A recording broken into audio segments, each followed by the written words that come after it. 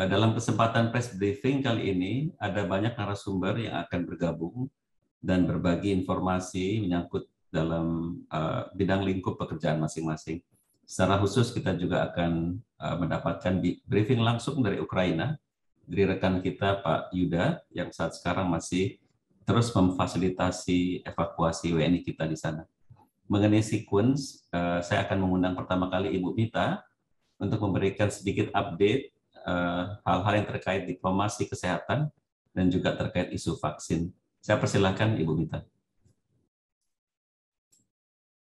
Yang terhormat Bapak Dirjen IDP, Bapak Stafsus, para direktur dan juga rekan media yang kami hormati, ada dua hal yang akan kami sampaikan pada press briefing pada hari ini. Yang pertama terkait dengan perolehan vaksin dan yang kedua terkait dengan diperpanjangnya mandat Ibu Menteri Luar Negeri sebagai co-chair COVAX Advanced Market Commitment Engagement Group atau COVAX EMCEG.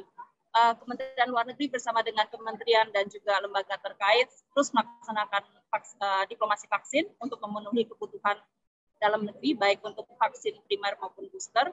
Pada minggu pertama bulan Maret ini, tepatnya pada tanggal 4 Maret, kami telah menerima vaksin Pfizer dose sharing dari uh, pemerintah Amerika Serikat melalui COVAX Facility sebesar 3.499.470 dosis. Dengan penerimaan tersebut, maka hingga tanggal 10 Maret 2022, jumlah vaksin yang telah diterima oleh Indonesia mencapai 503 juta 550.555 dosis vaksin. Dan jumlah tersebut bisa memenuhi untuk sekitar 93,2 persen dari total kebutuhan vaksin dua dosis bagi seluruh populasi Indonesia. Selain itu, untuk tahun 2022 ini kami mencatat masih akan ada komitmen vaksin yang akan datang, yaitu vaksin dari Moderna, dose sharing dari AS melalui COVAX Facility sebesar 2 juta 880 dosis yang akan tiba di Indonesia pada tanggal 11 Maret ini hari.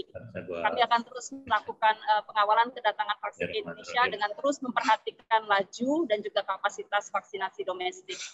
Selain itu, rekan-rekan uh, media yang kami hormati, sebagaimana dimaklumi selama setahun terakhir ini, yaitu dari periode Januari hingga Desember 2021, Ibu Menteri Luar Negeri telah mengemban amanat sebagai co-chair COVAX EMCEG bersama Menteri Pembangunan Internasional Kanada dan juga Menteri Kesehatan Ethiopia sebagai refleksi kepercayaan dunia terhadap kapasitas Indonesia dalam penanganan COVID-19 Ibu Menteri Luar Negeri akan meneruskan amanah ini dengan melanjutkan tugas sebagai salah satu co-chair COVAX MCEG untuk periode Januari sampai dengan Desember 2022. Jadi dengan diperpanjangnya tugas sebagai co-chair COVAX MCEG ini, Ibu akan terus mendorong tiga agenda utama, yaitu yang pertama adalah proses yang inklusif dan juga transparan dalam COVAX MCEG, lalu juga memastikan pengiriman vaksin yang lancar dan juga tepat waktu, dan terakhir adalah penguatan solidaritas dan juga kerjasama internasional. Tentunya sebagai co-chair dari COVAX EMCEG, Ibu Menteri Luar Negeri akan kembali mendorong akses vaksin yang setara, baik bagi Indonesia maupun juga negara-negara yang paling membutuhkan. Mungkin itu dari kami, Pak Dirjen. Terima kasih banyak atas kesempatannya. Terima kasih Bu Litang atau Mbak Mita.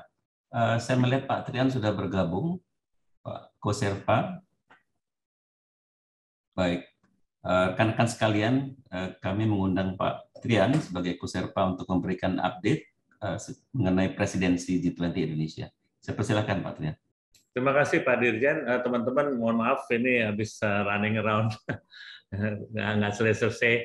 Saya hanya memberikan update apa yang telah disampaikan sebelum-sebelumnya terkait dengan uh, working group meeting dan engagement group meeting uh, beberapa kegiatan pekan lalu yang telah dilaksanakan uh, yaitu tanggal 24-25 Februari ada first development working group meeting. 1 Maret kemarin ada kick off on environment deputies meeting and climate sustainability working group. 1 Maret juga ada side event Jakarta e-mobility event sebagai bagian dari Jakarta selaku urban 20 ya. Uh, ada juga yang kita sebut uh, sebagai kick off anti corruption working group meeting uh, 4 Maret uh, kemarin. Dan uh, kick off juga untuk C20 atau Civil 20 ini kumpul-kumpul antara NGO-NGO uh, 7 Maret yang kemarin uh, uh, 7 Maret itu baru kemarin beberapa hari lalu lah ya.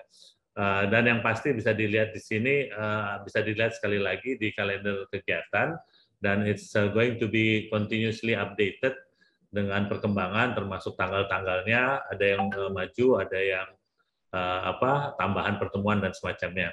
So saya tidak akan mengulang lagi kira-kira berapa banyak pertemuan tapi all in all sampai saat ini 184 pertemuan yang formal di luar yang namanya side event atau showcasing atau program Road to G20 yang sekitar 254 kegiatan, di mana ada 107 side event dan 147 program uh, Road to G20. Uh, so ini cukup banyak.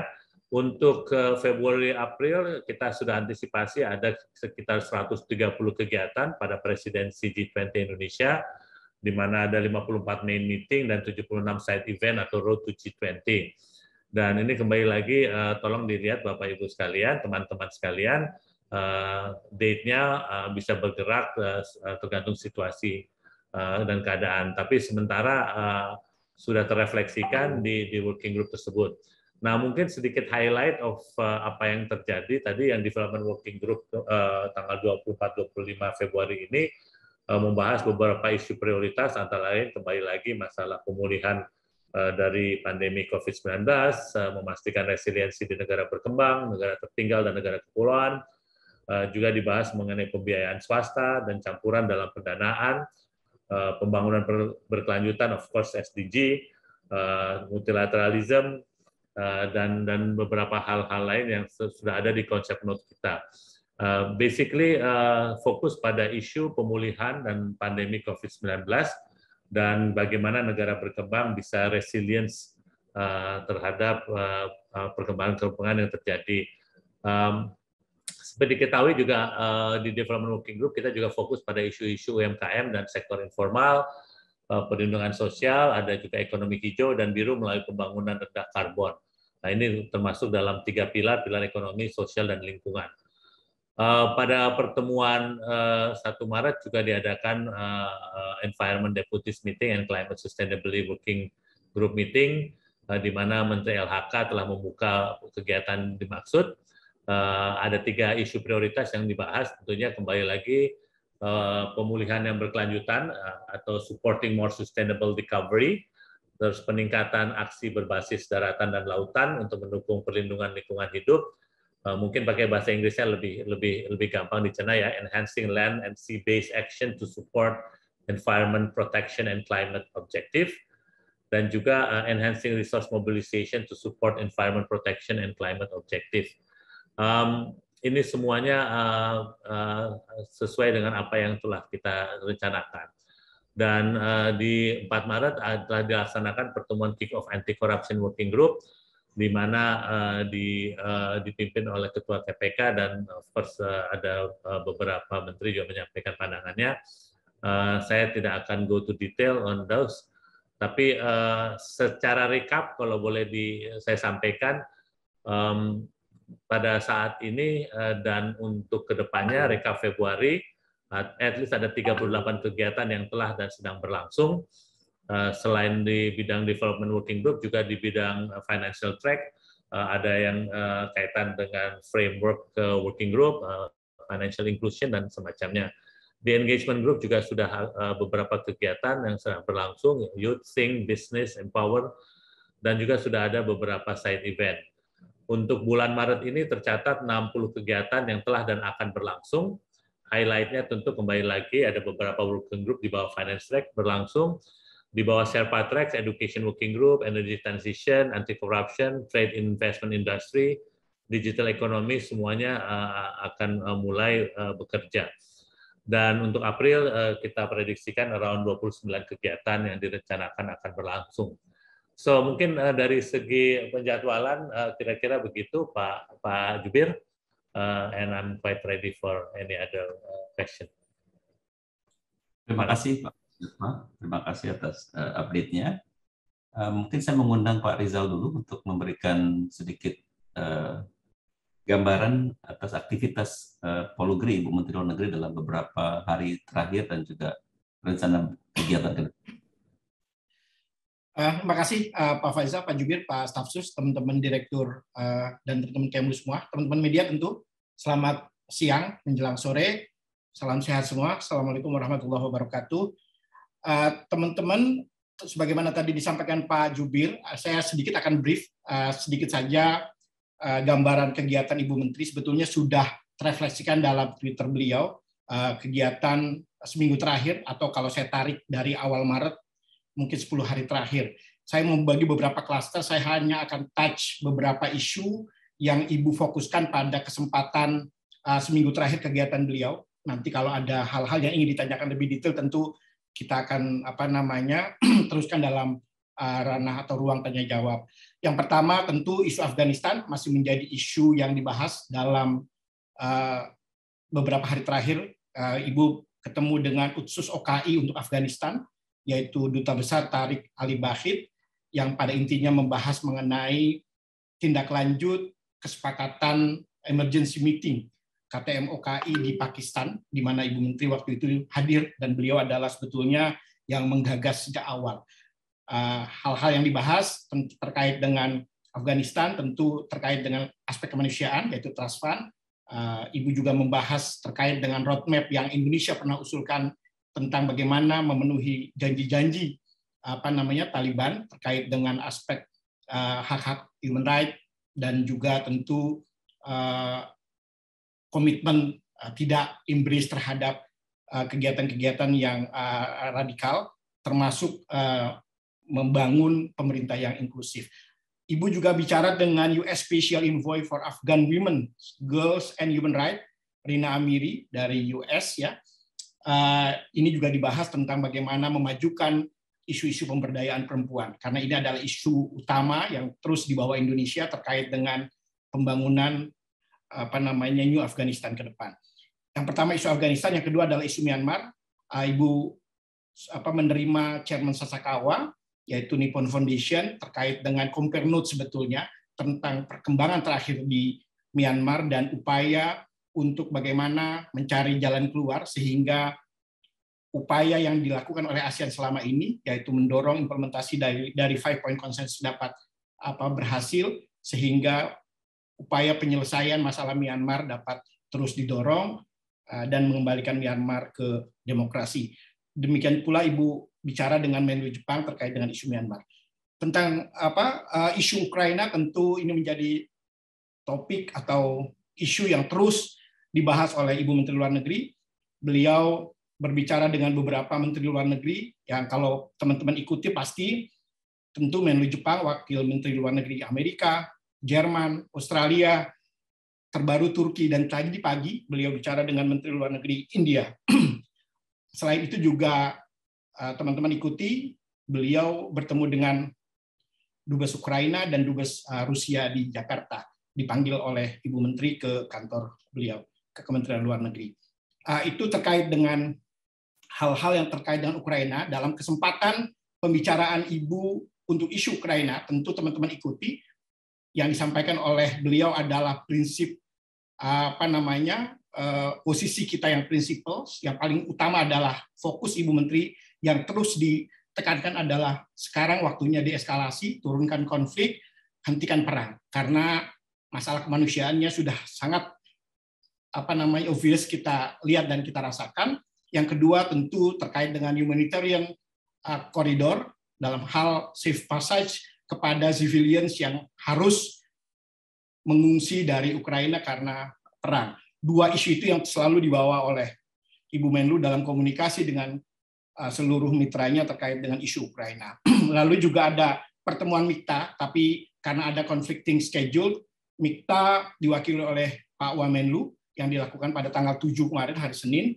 Uh, pada saat MIKTA ini, uh, pertemuan MIKTA Menteri-Menteri Luar Negeri MIKTA uh, terjadi transfer of uh, chairmanship ya dari Australia ke Turki. Saat ini Turki yang memegang uh, chairman dari uh, Pamikta itu sendiri.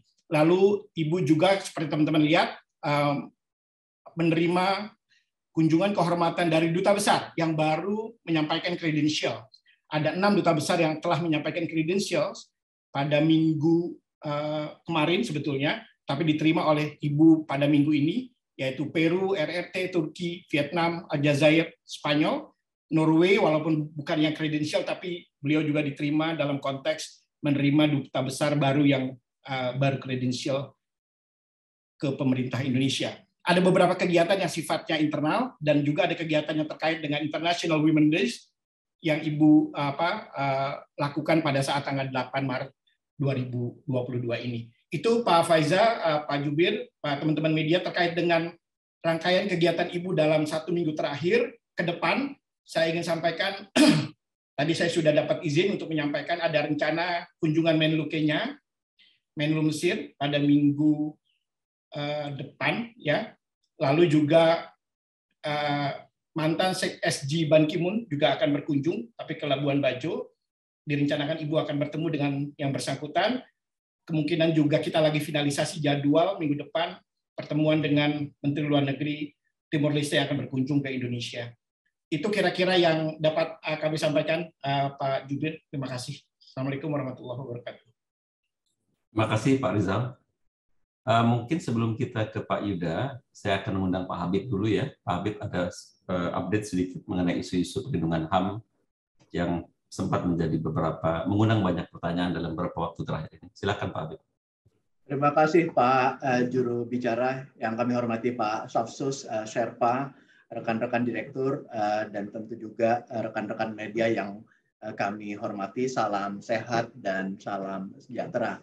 Perkenankan saya untuk berbagi informasi bahwa pada 28 Maret sampai 1 April 2022 akan berlangsung sesi ke-49 Sidang Dewan HAM di Jenewa. Indonesia tentu sebagai anggota bersama 46 anggota lainnya juga terlibat aktif dalam putaran perundingan selama satu bulan tersebut. Eh, kami ingin sampaikan bahwa dalam seluruh program sesi ke-49 ini tidak ada agenda dan bahasan mengenai khusus Indonesia atau isu-isu khusus misalnya dugaan pelanggaran HAM di Papua. Dapat kami tambahkan bahwa pada 8 Maret eh, beberapa hari lalu eh, Komisaris Tinggi HAM Michelle Bachelet juga sudah menyampaikan oral update yang berupa laporan situasi HAM yang menjadi perhatian dunia saat ini ada sekitar 25 negara yang disorot, termasuk misalnya isu Ukraina, Rusia, Asia Selatan, dan Afrika. Sekali lagi, tidak ada mengenai Indonesia. Terkait dengan beredarnya berita bahwa pada tahun 2022 akan ada kunjungan KTHAM ataupun spesial raportur tertentu ke Provinsi Papua maupun uh, Provinsi Papua Barat, dapat kami sampaikan bahwa tidak ada permintaan atau rencana kunjungan untuk tahun 2022 ini. Karena apa? Karena kantor KTH menyerahkan sepenuhnya pengaturan kepada pemerintah Indonesia. Sebagai latar belakang dapat kami ulangi kembali bahwa yang telah kita sampaikan adalah undangan untuk melakukan peninjauan pembangunan dan capaian SDG di kedua provinsi tersebut dan sama sekali tidak terkait dengan eh, kerangka investigasi atau fact finding mission dan sebagainya. Sejauh ini hubungan kami dengan kantor KTHAM juga sangat baik bulan Januari lalu, Watapri Jenewa, Dubes Febrian, juga melakukan pertemuan kortesikol dan membicarakan banyak hal mengenai kerjasama bilateral kedua belah pihak, sebagaimana juga yang telah Kemlu kami lakukan dengan kantor regional mereka yang ada di Bangkok. Dengan demikian, sebagai penutup dari saya, berita yang beredar bahwa pada 2022 akan berlangsung kunjungan KTHAM ataupun special rapporteur ke kedua provinsi kita tersebut dapat dipastikan adalah berita yang eh, tidak berdasar. Demikian Pak Jubir, tambahan dari saya. Sekian, terima kasih. Wassalamualaikum warahmatullahi wabarakatuh. Uh, terima kasih uh, Pak Habib. Um, kita ke Pak Yuda sekarang ya, yang akan melaporkan beberapa hal terkait perlindungan WNI dari Ukraina saat sekarang beliau masih berada di sana. Silakan Mas Yuda. Siap, terima kasih. Yang kami hormati Bapak Dirjen IDP, Bapak Dubes Faisesa, yang kami hormati Bapak Dubes Tian Sajani, rekan-rekan direktur, dan mobil khusus teman-teman media. Salam sehat, salam semangat. Uh, izinkan kami melakukan update, menyampaikan update kepada teman-teman semua terkait dengan proses evakuasi warga negara Indonesia di luar negeri. Untuk kemudahan mungkin secara visual kami akan coba uh, sharing uh, PPT-nya. Jadi uh, ini adalah proses yang sudah kita lakukan pasca tanggal 3 Maret 2022. Sebagaimana diketahui teman-teman, tanggal 3 Maret yang lalu, Alhamdulillah, kita telah memulangkan 80 WNI dan tiga warga negara asing menggunakan pesawat khusus evakuasi dan telah tiba di Jakarta. Nah, ini adalah update uh, terkait dengan uh, berbagai macam upaya evakuasi yang sudah kita lakukan pasca tanggal 3. Jadi kalau kita lihat ya uh, di sisi sini di Kharkiv, di Kharkiv ada enam warga negara kita yaitu masing-masing pada tanggal 3 Maret sebanyak lima orang sudah bisa kita evakuasi dari Kharkiv menuju ke Lviv dan kemudian kita bawa ke Polandia. Pada tanggal 7 eh, ada lagi satu warga negara kita yang sudah bisa kita evakuasi menuju ke Lviv, kemudian eh, dibawa ke Warsawa. Enam orang ini sudah kita pulangkan ke Indonesia.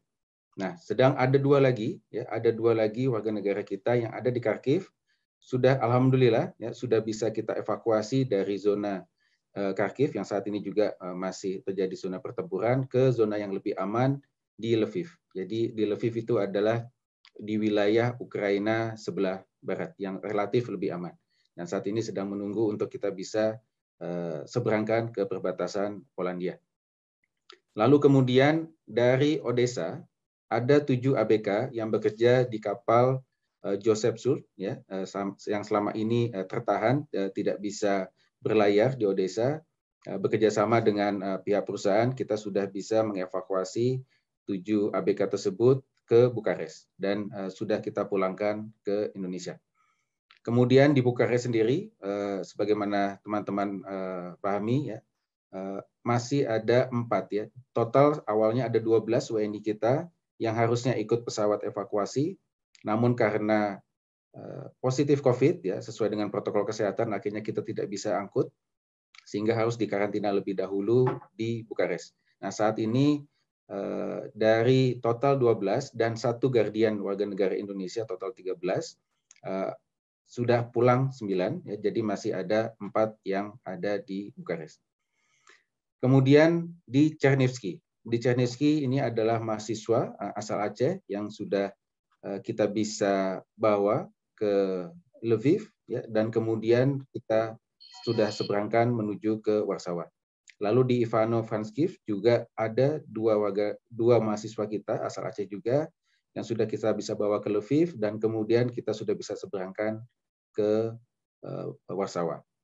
Nah, pada hari ini ada dua anak uh, uh, warga negara Indonesia yang hasil pernikahan dari seorang ayah WNI dan uh, ibu warga negara Ukraina sudah bisa kita evakuasi dari Dnipro Protes menuju ke Lviv. Baru tiba di Lviv pada pagi hari ini dan uh, segera akan kita uh, seberangkan menuju ke perbatasan Polandia. Nah, terakhir adalah warga negara kita yang ada di Chernivtsi. Di Chernivtsi ini memang sedang kita terus upayakan proses evakuasinya sehingga mereka bisa Eh, keluar dari wilayah Chernivtsi ya, dan kemudian kita bisa bawa eh, keluar juga dari wilayah Ukraina. Ini eh, data statistik ya, data statistik yang dapat disampaikan per hari ini. Jadi total warga negara kita yang ada di Ukraina ada 165. Ya. Telah kembali ke Indonesia 120. Artinya Pasca ketibaan 80 WNI menggunakan pesawat evakuasi khusus tanggal 3 Maret lalu, ada 40 lagi yang sudah bisa kita evakuasi keluar dari Ukraina. Lalu ada 13 yang dalam upaya evakuasi. Tadi kami sampaikan ada 9 warga negara kita yang masih ada di Chernihiv. Ya. Lalu dua warga negara kita yang ada di Kharkiv, yang sudah ada di Lviv, dan Alhamdulillah Lviv adalah lokasi yang eh, lebih aman Kemudian uh, ada ada dua lagi yang sudah tadi kami sampaikan dari Dnipro yang baru tiba pada pagi hari ini di Lviv. Jadi dari 13 tersebut, empat uh, orang WNI di antaranya sudah berada di Lviv di lokasi yang aman. Ya, sedangkan sembilan yang ada di Chernihiv, kita terus upayakan untuk uh, bisa kita evakuasi segera. Kemudian uh, ada 32 yang memilih tetap tinggal di Ukraina. Ini mayoritas adalah warga negara kita yang menikah dengan warga negara Ukraina. Sebagaimana uh, diketahui memang uh, untuk uh, laki dewasa warga negara Ukraina dilarang untuk keluar Ukraina. Nah, uh, warga negara kita atas pilihan sendiri memilih untuk tetap tinggal bersama keluarganya. Dari 32 tersebut juga termasuk adalah staf dari KBR. Nah, kalau teman-teman melihat ya angka jumlah warga negara kita di Ukraina ini selalu bergerak naik. Ya, dari data awal yang kami sampaikan sebelum terjadinya pertempuran ya serangan Rusia pada tanggal 24 Februari yang lalu. Ini memang salah satu tantangan yang kami hadapi bahwa ada beberapa warga negara Indonesia yang tidak lapor diri sejak awal. Ya. Padahal sejak awal kami sudah minta untuk keakuratan dan kecepatan respon dari KBRI Kiev, tentu data yang akurat menjadi kunci utama. Ya, namun uh, setelah terjadi uh, proses evakuasi kemarin, kami masih mendapatkan uh, data-data WNI yang baru lapor diri, yang tidak ada di database WNI sebelumnya. Nah, eh, secara khusus kami coba menyoroti yang ada di Chernihiv. Ya, ini sembilan WNI kita yang ada di Chernihiv. Setiap hari, ya, dalam beberapa kali sehari bahkan kami selalu menjalin komunikasi dengan mereka. Saat ini kondisi mereka uh, dalam kondisi aman, ya, pasokan logistik uh, aman, apa juga uh, aman. Ini posisi yang ada di Chernihiv. Jadi tantangan yang kita hadapi saat ini adalah Chernihiv masih menjadi zona pertempuran. Ya. Beberapa upaya humanitarian corridor yang kita bisa pantau ternyata tidak efektif di lapangan. Ya. Sebagai contoh, kemarin sebetulnya kita sedang sudah mengupayakan penjemputan ke arah Chernihiv. Ya. Kita sudah berkoordinasi dengan pihak-pihak terkait yang ada di lapangan, namun ternyata pertempuran masih terjadi di rute evakuasi, sehingga demi keselamatan eh, para WNI kita kita tunda terlebih dahulu proses evakuasi mereka. Kita akan terus upayakan, ya, terutama penciptaan humanitarian koridor yang efektif di lapangan. Sebagaimana tadi disampaikan oleh Pak Rizal, Ibu Menlu juga terus mengupayakan uh, penciptaan humanitarian koridor ini dan bagaimana betul-betul bisa dipatuhi oleh pihak-pihak yang ada di lapangan. Secara khusus kami juga uh, menyampaikan uh, ada pemberitaan bahwa WNI kita yang ada di Ukraina itu diberitakan di Sandra, di sana. Jadi kami bisa tegaskan bahwa mereka tidak disandra, mereka belum bisa bergerak, ya, belum bisa dievakuasi, simply karena tidak aman, ya, masih menjadi zona pertempuran sehingga mereka akan lebih aman tinggal di uh, tempat masing-masing. Dan kondisi mereka, alhamdulillah uh, sampai saat ini uh, aman di lokasi masing-masing. Dan kita akan terus upayakan ketika sudah ada jalur evakuasi yang aman bagi mereka kita akan selalu akan segera melakukan penjemputan. Dan dalam hal ini tim sudah menyiapkan sarana transportasi ya jika sudah aman untuk dilakukan dan sudah ada jaminan uh, safe passage dari kedua belah pihak kita akan selaku, segera melakukan evakuasi mereka. Demikian yang dapat kami sampaikan. Terima kasih. Assalamualaikum warahmatullahi wabarakatuh. Terima kasih Pak Yuda, langsung dari Ukraina.